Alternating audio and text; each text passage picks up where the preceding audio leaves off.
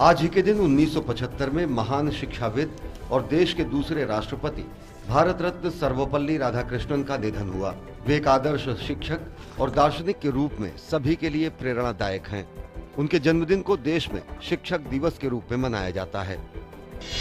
आज ही के दिन सन 1964 में जेरी मॉक, अकेले हवाई जहाज़ के ज़रिए दुनिया का चक्कर लगाने वाली पहली महिला बनी। उनकी ये यात्रा 19 मार्च को कोलंबस से शुरू हुई थी। 1982 में आज ही के दिन कनाडा में नया संविधान लागू हुआ।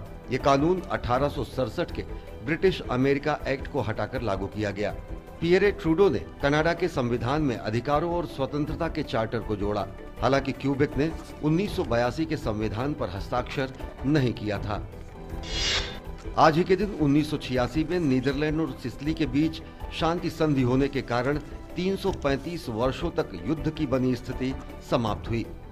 सोलह में शुरू हुई युद्ध की स्थिति के दौरान न हिंसा की कोई घटना हुई और न ही एक भी गोली चली। यही वजह है कि इस युद्ध को विश्व इतिहास का सबसे लंबा और सबसे शांतिमय युद्ध माना जाता है।